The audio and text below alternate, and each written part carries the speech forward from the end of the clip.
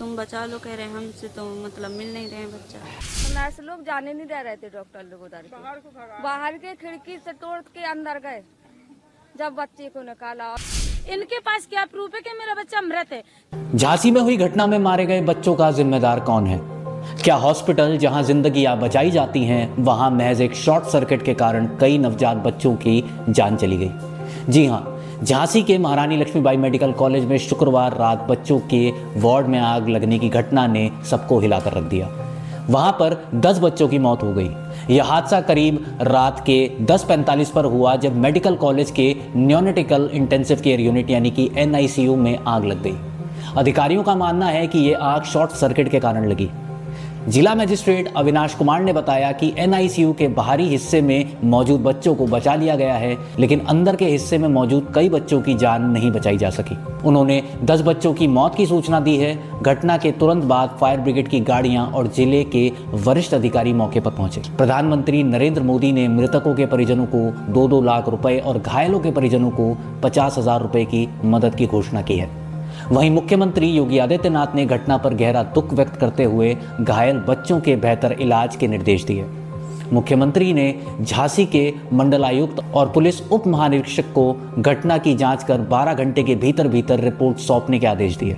उप मुख्यमंत्री ब्रजेश पाठक और स्वास्थ्य सचिव मुख्यमंत्री के निर्देश पर तुरंत झांसी रवाना हो गए। झांसी के लोकसभा सांसद अनुराग शर्मा ने घटना पर दुख व्यक्त किया। वहीं सदर विधायक रवि शर्मा भी अस्पताल पर पहुँचे और स्थिति का जायजा लिया। अब सवाल ये उठता है कि इतनी बड़ी लापरवाही के लिए जिम्मेदार कौन है? क्या यह हादसा प्रशासन की चूक का नतीजा है या फिर सुरक्षा मानकों का पालन ना करने का? इस सवाल का जवाब मिलने में अभी वक्त है, लेकिन पीड़ित परिवार का दर्द और सवाल दोनों ही बरकरार है। तो था नहीं पता। भारती आ तो, तो पता नहीं है कहाँ है। क्या हुआ था वहाँ पे? वहाँ पे आग लग गई है तब मैं उठ के आया तब देखा तो वहाँ तो आग लगी थी। तो मैं अंदर तो बढ़ नहीं पाई। जो लेके आती जब मिला ही नहीं कुछ तब मैं क्या करने जाती। आपने वहाँ बोला था बच्चा दे दो जब कोई मिला ही नहीं देने को देगा कौन? सब लोग भाग भाग आए। कितने दिन का बच्चा था? दस दिन का। बच्चों को पता ही नहीं है कि कहाँ है। गई थी आप पता करने? हाँ। कहा बोले? कह रहे बच्चा यहाँ नहीं है जितने में लगे सो ले जाओ। अब तुम बचा लो कह रहे हैं हमसे तो मतलब मिल नहीं रहे बच्चा। अच्छा पहला बच्चा था आपका? हम्म, अच्छा ये बताओ उसमें कितने बच्चे भर्ती थे? कम से कम पचास से ज़्यादा होंगे। अच्छा तो आपको बच्चा देखने दिखाया नहीं अभी तक? नहीं अभी नहीं। हमारा बच्चा आईसीयू में था नाती है मेरा। और जैसे ही आग लगी तो सब लोग दौड़े। तो नर्स बाहर के लिए धक्का दे रही थी अंदर नहीं जाने दे रही थी। फिर ज़बरदस्ती से अंदर गए जिसके हाथ में जो भी जिसका भी बच्चा आया ऐसे निकाले हम लोग नर्स लोग जाने नहीं दे रहे थे डॉक्टर लोग उधर बाहर के खिड़की से तोड़ के अंदर गए जब बच्चे को निकाला। अभी तक हमारे बच्चे का पता ही नहीं है आपका कौन था वो? नाती। मेरी लड़की का लड़का। ये तो बीस पच्चीस दिन का। बीस पच्चीस दिन का। अच्छा उसमें कितने बच्चे होंगे अंदर? उसमें पचास साठ बच्चे होंगे। तो आपके बच्चे का पता नहीं है? नहीं पता ही नहीं अभी तक। तो आपने बात की डॉक्टर से? बात की है ना अभी ढोड़ाई चालू है। क्या कह रहे हैं वो? अभी जाँच करवा रहे ना कई इधर भर्ती कई आधी जगह जगह भर्ती करके रखे तो देखना चालू है। वार्ड में भी देखने के लिए? हाँ। लड़की गई दामान गए सब लोग अलग अलग देखने गए।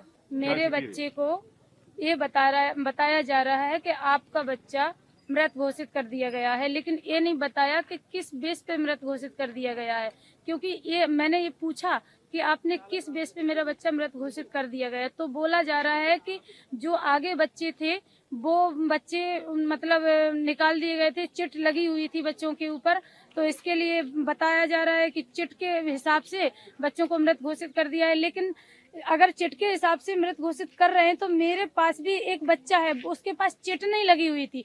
तो उसको भी मैंने डॉक्टर कुलदीप त्रिवेदी के यहाँ एडमिट कराया है, वो भी आईसीयू में है। उसको भी मैंने अपने नाम से एडमिट कराया है, लेकिन फ़िलहाल वो मेरा बच्चा नहीं है तो मैंने सबको बता दिया। अब इनके पास क्या प्रूफ है कि वो मेरा बच्चा ही मृत है? क्योंकि अगर मैं ना बताती कि मेरा बच्चा, मैं किसी का बच्चा मेरे पास है तो इनके मैं तो क्या ये जान पाते कि ये मेरा बच्चा नहीं है? इनके पास क्या प्रूफ है कि मेरा बच्चा मृत है?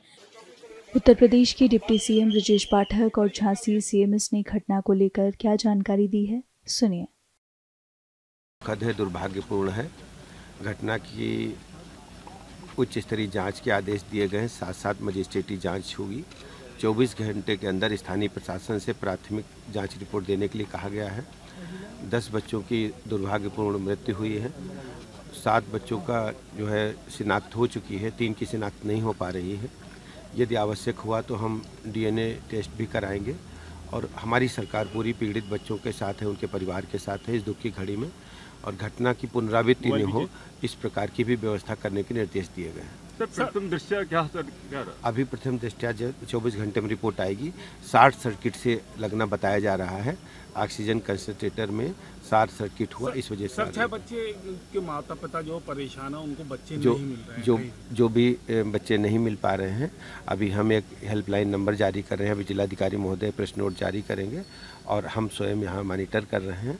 हर स्थिति में हम पीड़ित परिवारों के साथ खड़े हैं। जो एनआईसीयू वार्ड है एनआईसीयू वार्ड में चौवन बच्चे भर्ती थे और उसमें अचानक ऑक्सीजन कंसनट्रेटर में आग लग गई जिसको बुझाने की कोशिशें की गई लेकिन क्योंकि कमरा पूरा ही हाईली ऑक्सीजनेटेड रहता क्योंकि सभी बच्चों का ऑक्सीजन चल रहा था तो आग तुरंत फैल गई।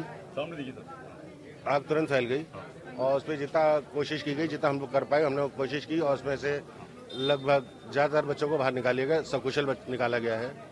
और 10 बच्चे उसमें अभी फ़िलहाल अभी तक कोलेप्स हो चुके हैं।